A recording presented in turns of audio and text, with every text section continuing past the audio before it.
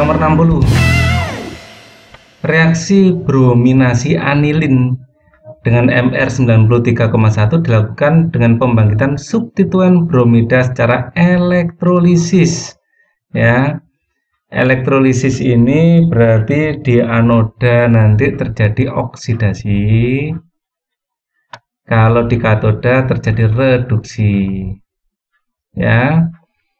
Oke, kita lanjutkan. Jika proses pembangkitan bromin MR 160 dilakukan di anoda, ya, bromin di anoda. Berarti eh, BR itu di sini ya. Proses pembangkitan bromin dilakukan di anoda dan penentuan kuantitatif sampel juga secara elektrolisis elektrolisis dengan proses terbalik. Data elektrolisis sebagai berikut ya ini ada status elektroda kerja ada anoda katoda waktu elektrolisis elektrolisis dalam menit ya pada arus 1 miliampere.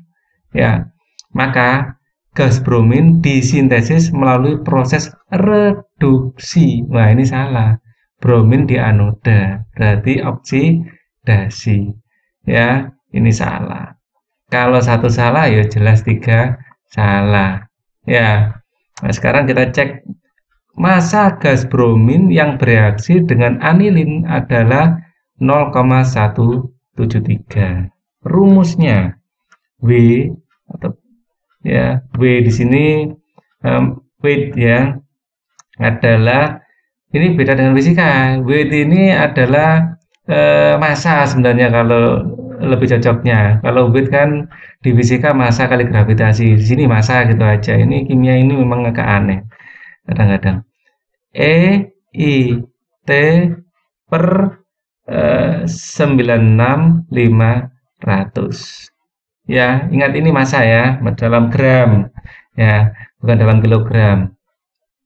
WE E ini adalah eh, apa eh, AR permuatan. Nah, AR permuatan. Nah, jadi AR-nya itu berapa? Eh, atau MR ya, atau MR permuatan. Oke. Jadi MR-nya adalah 160. Ya, kita ngitung brominnya ya. 160 muatan dari bromin ya BR itu muatannya 2 Ya. Kemudian eh, apa ini? I arusnya 1 miliampere. Ya. Pada EIT ya. I-nya adalah 1 miliampere ya. Kemudian waktunya adalah berapa ini?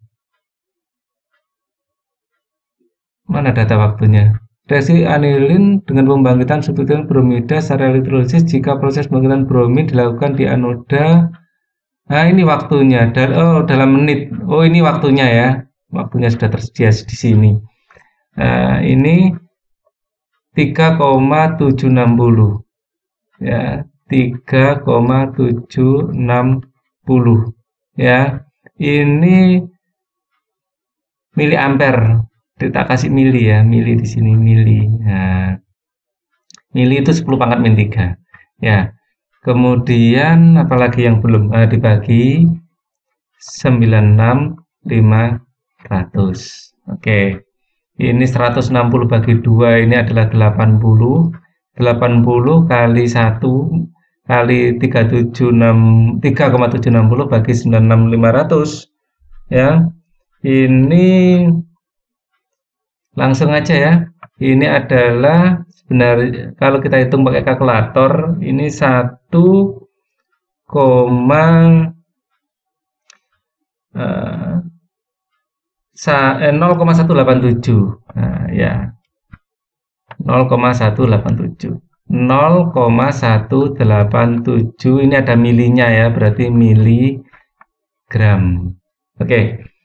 Nah ini enggak sesuai 0,173 berarti ini salah juga. Ya ini salah semua. Nggak mungkin. Pasti nomor 4 benar. Ya jawabannya kalau 4 aja yang benar itu apa? D ya. D. Oke ini pembahasan nomor 60 Thank you.